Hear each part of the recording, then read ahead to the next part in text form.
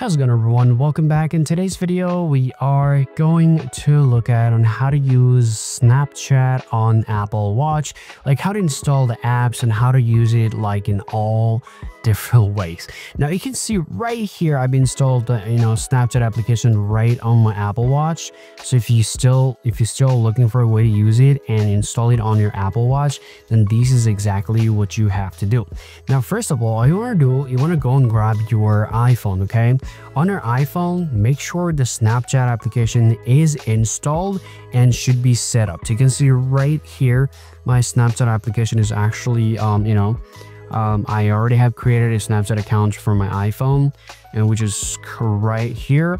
And after that, so all you want to do is just get out of here and just go grab your Apple Watch here. And then you want to just, first of all, you want to open up the App Store. Simply type it on here and you simply look for the Snapchat application. You can type here Snapchat